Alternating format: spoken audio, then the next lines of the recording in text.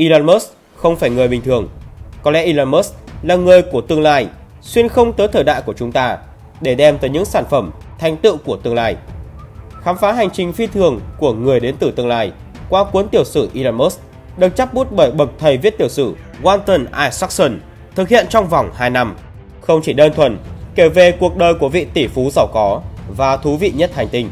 Cuốn tiểu sử có chọn tinh hoa trong tất cả các lĩnh vực khoa học và công nghệ mới thú vị nhất hiện nay như xe điện, thám hiểm không gian và trí tuệ nhân tạo.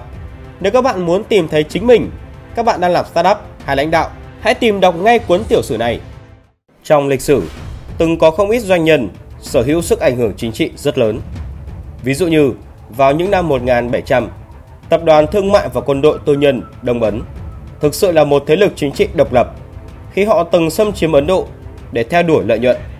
Hay William Randolph Hearst, chủ tập đoàn truyền thông Hearst Corporation, đã từng xúi dục giới chính trị Mỹ tham chiến với Tây Ban Nha chỉ để bán báo.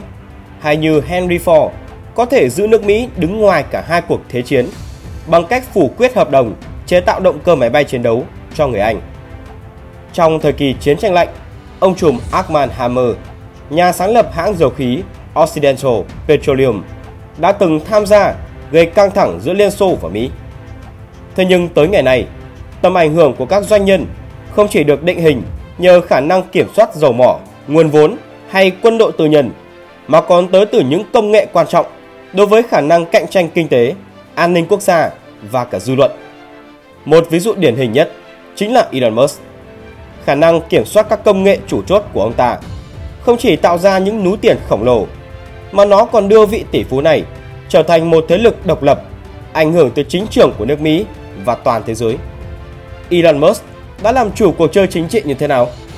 Trong đến với Battlecry khám phá, có ba cái tên đang định hình nên tầm ảnh hưởng của Elon Musk trên chính trường.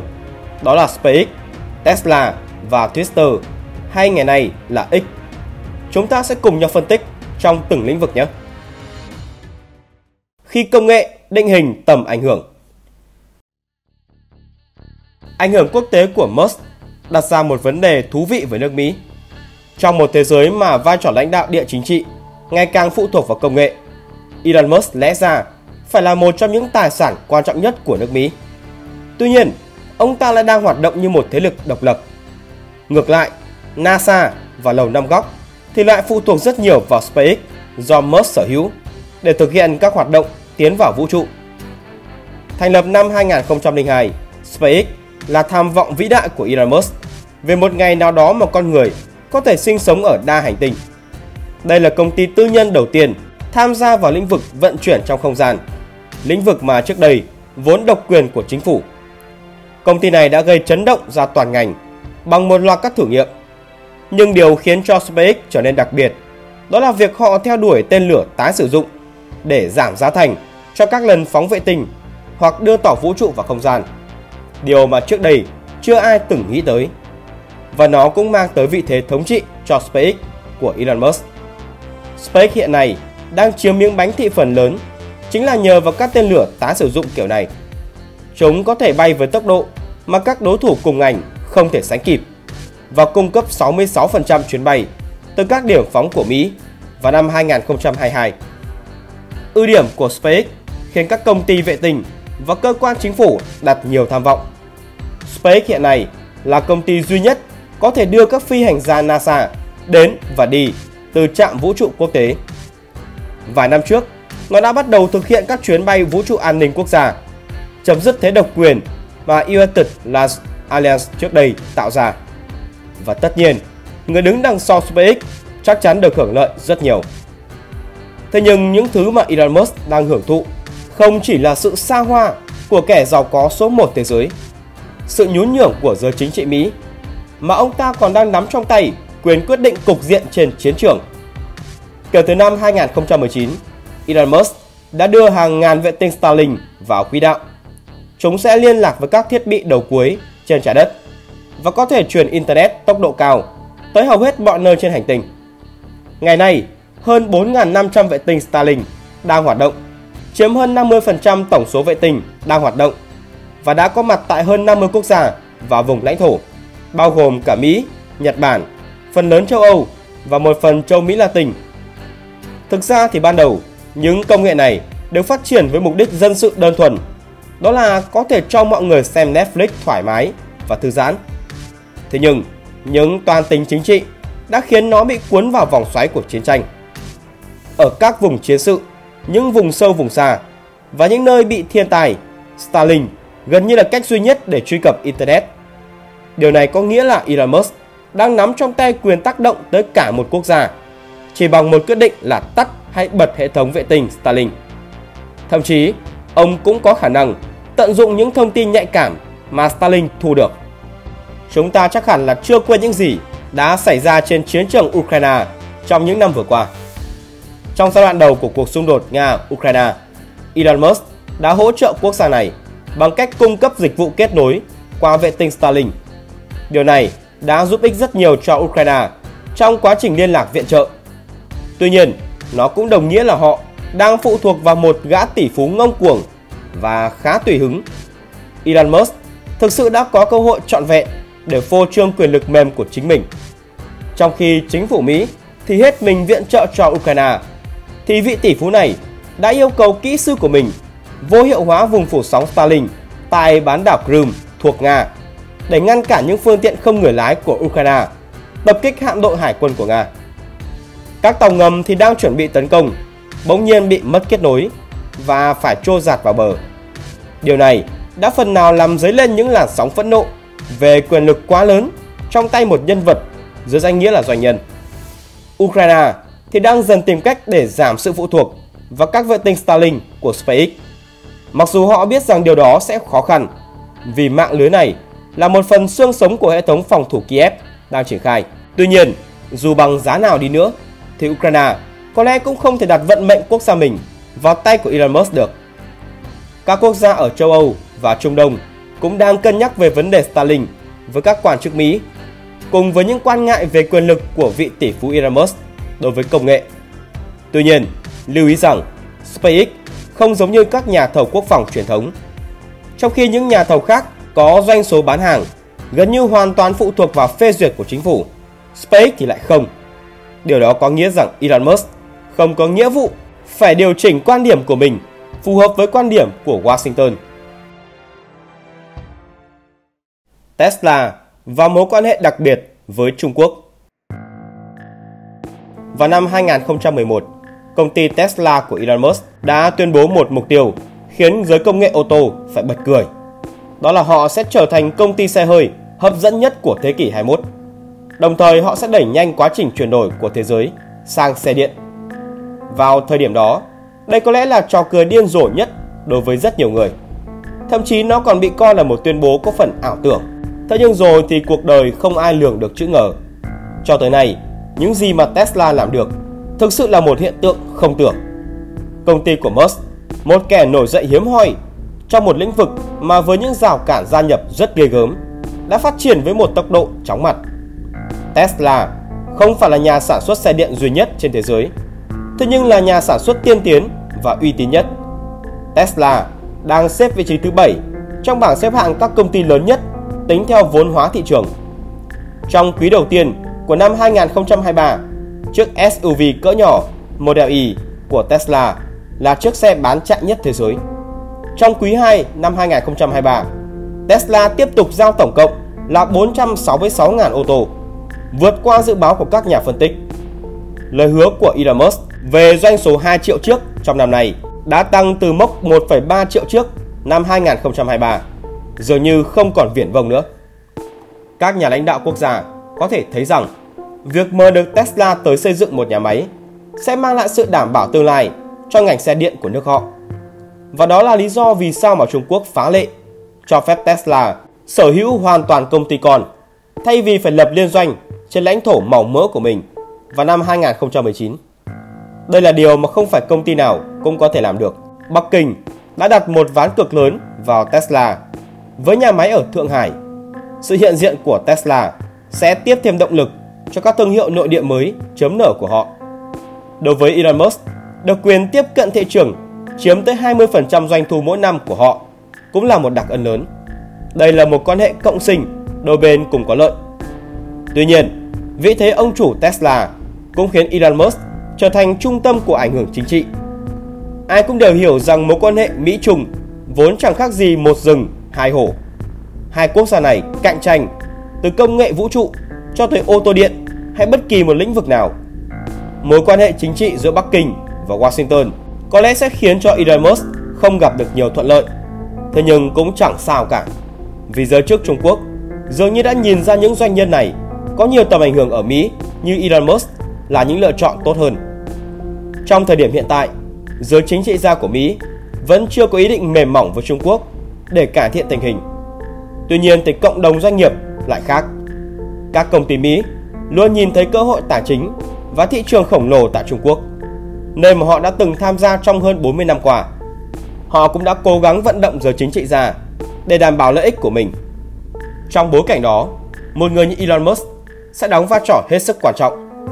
Mặc dù có quan điểm chính trị hữu khuynh và là người Nam Phi chứ không phải người Mỹ chính gốc, Musk vẫn có một quan điểm cởi mở và thái độ thân thiện đối với Trung Quốc. Những nhân vật như ông Musk có thể gián tiếp lèo lái mối quan hệ Mỹ-Trung hướng tới một tương lai an toàn hơn và tạo tiền lệ cho các doanh nhân khác tới đây. Bất chấp mọi thứ đang diễn ra, Trung Quốc vẫn mở cửa cho kinh doanh và Bắc Kinh coi sự hợp tác của các doanh nghiệp là một nhân tố quan trọng kéo mối quan hệ Mỹ-Trung ra khỏi thời kỳ chiến tranh lạnh. Có một điều đặc biệt ở Elon Musk mà thế giới đang hiểu nhầm về ông. Elon Musk thực chất không hề ngông cuồng như người ta vẫn nghĩ. Ngược lại, ông là một kẻ rất thức thời, biết người biết ta. Trước đây, Elon Musk luôn tự mô tả bản thân là một người theo chủ nghĩa tự do ngôn luận, luôn bạo dạn và quyết liệt trong những thỏa thuận với giới chính trị gia Mỹ. Thậm chí ông từng nhiều lần có những phát ngôn khiến cho thế giới ngã ngửa. Những hành động này thì càng khiến cho người ta tin tưởng rằng đây là một vị tỷ phú thiên tài, ngông cuồng, ngạo mạn. Tuy nhiên, khi đối mặt với các nhà lãnh đạo nước ngoài, những người nắm quyền lực với mạng lưới kinh doanh trải khắp mọi nơi, Elon Musk lại có cách tiếp cận nhẹ nhàng hơn. Và điều này thì rõ ràng khiến cho Tesla của ông yên ổn tại Trung Quốc. Tờ WSG gọi sự biến chuyển đó là học thuyết Musk. Điều này được thể hiện rõ nhất khi Musk từng thẳng thắn chọc ngoái Tổng thống Biden và chỉ trích Fed cũng như bảo vệ những bài đăng trên mạng xã hội gây tranh cãi của mình. Tôi sẽ nói những gì mà tôi muốn và nếu hậu quả là bị mất tiền thì cũng chẳng sao. Thế nhưng khi đề cập tới chủ đề Trung Quốc, vị tỷ phú này thường nhẹ giọng hơn. Musk đang khéo léo điều chỉnh giữa tính cách thẳng thắn của mình và đặc điểm lạnh lùng của một CEO phương Tây trong một thế giới nơi mà các chính phủ có thể buộc ông ta phải khuất phục. Musk hiểu rằng tại Mỹ, ông có thể nói bất kỳ thứ gì mà mình muốn, bởi cuối cùng thì sẽ chẳng có gì xảy ra. Thế nhưng ở những quốc gia khác, cuộc chơi lại không hề như vậy. Sự khôn ngoan của Elon Musk đã đem tới cho Tesla một cái kết khá đẹp. Tesla được cho là đã bán được 155.000 ô tô tại Trung Quốc trong quý 2 năm 2023, tăng 13% so với 3 tháng trước đó. Điều này thì không có nghĩa là Elon Musk sẽ tập trung toàn bộ vào Trung Quốc. Gã tỷ phú thiên tài này hiểu ơn ai bất kỳ rằng chỉ có nước Mỹ mới có thể sản sinh ra một doanh nhân như ông ta. Người đã di cư từ Nam Phi tới Canada khi còn là một thiếu niên. Và rồi nước Mỹ thực sự là nơi chất lọc tinh thần khám phá của con người. Mà ở đây, lý tưởng của Musk mới có thể trở thành hiện thực. Và có lẽ cũng chỉ ở Mỹ, Musk mới có được nhiều quyền tự chủ về chính trị như vậy. Musk gần như liên tục xung đột với nhà nước, từ Ủy ban Thương mại Liên bang tới Bộ Tư pháp. Trong khi ở Trung Quốc, bất đồng quan điểm với chính trị gia có thể khiến doanh nhân phải trả giá bằng công việc kinh doanh, bằng sự tự do hoặc là cả hai. Jack Ma và nhiều cái tên khác chính là những bài học nhãn tiền. Thế nhưng ở Mỹ, nơi quyền lực được phân tán giữa các nhánh và các đảng phái khác nhau, Elon Musk sẽ có chỗ để phát triển mạnh mẽ. Và đó mới là điều tạo nên một Tesla vĩ đại như hiện giờ. Thực tế thì cũng có những doanh nghiệp có tầm ảnh hưởng về ngoại giao, về địa chính trị không nhỏ. Tuy nhiên, sự độc lập của Musk với chính phủ Mỹ mới là thứ tạo nên những sự lo ngại. Sự độc lập đó khiến nước Mỹ dễ bị đe dọa khi mối quan hệ giữa Trung Quốc và Elon Musk tốt đẹp. Trung Quốc có thể tiếp cận được những thông tin mật thông qua SpaceX. Hãng xe điện của Mỹ sẽ phát triển được những bộ pin xe điện tiên tiến mà Bắc Kinh đang tìm kiếm. Nước này hiện đã sử dụng công nghệ pin xe điện với chi phí rẻ, mà công ty của Musk thì đang dẫn đầu. Elon Musk cũng không ít lần dành những lời khen ngợi cho Trung Quốc khiến chính giới Mỹ phải nóng mắt. Mặc dù thị phần của Tesla có thể đã giảm xuống dưới 14%, từ mức 16% trong quý trước, do người mua chuyển sang các thương hiệu nội địa của Trung Quốc đang cải tiến rất nhanh. Tuy nhiên, một thực tế không thể chối bỏ là Tesla của Elon Musk cho tới nay vẫn là công ty xe hơi hấp dẫn nhất trong giai đoạn đầu thế kỷ 21. Và những nhân vật như Elon Musk thực sự có khả năng xoay chuyển cục diện trên bàn cờ của các nước lớn. Nếu không có bóng đêm của quá khứ, chúng ta sẽ không có Elon Musk của hiện tại. Đây là những gì Walter Isaacson nói về Elon Musk trong 2 năm đồng hành cùng ông để viết cuốn tiểu sử Elon Musk. Cuốn sách này khai thác toàn diện về cuộc đời, sự nghiệp của Elon Musk từ thời thơ ấu đặc biệt, hành trình khởi nghiệp phi thường cũng như sự phức tạp trong những tham vọng của ông. Tác phẩm này cũng là cuốn tiểu sử duy nhất được chính Elon Musk công khai xác nhận trên Twitter X và đạt được những giải thưởng danh giá như Best Book of 2023 by Amazon, Financial Times Best Business Book of 2023, Top 1 New York Times Bestseller. Khám phá ngay cuốn tiểu sử Elon Musk trong phần link mô tả hoặc comment của video này nhé. Twitter và tham vọng kiểm soát thông tin. Cuối cùng, mặc dù việc mua lại Twitter nay là X của Musk có vẻ vô cùng thua thiệt về mặt tài chính, nhưng nó thì lại có tác dụng tích cực về mặt chính trị. Là nền tảng truyền thông có tầm ảnh hưởng hàng đầu thế giới. Sở hữu X giúp Musk có quyền quyết định ai sẽ được lắng nghe, được ủng hộ và ai sẽ bị lọc, bị cấm hiện diện. Chúng ta không bao giờ có thể đoán được chính xác những gì đang diễn ra trong đầu của Elon Musk. Musk đã từng nói rằng ông ta muốn Twitter trở thành nền tảng tự do ngôn luận toàn cầu. Thế nhưng những gì mà ông ta đang làm lại đi ngược với điều đó.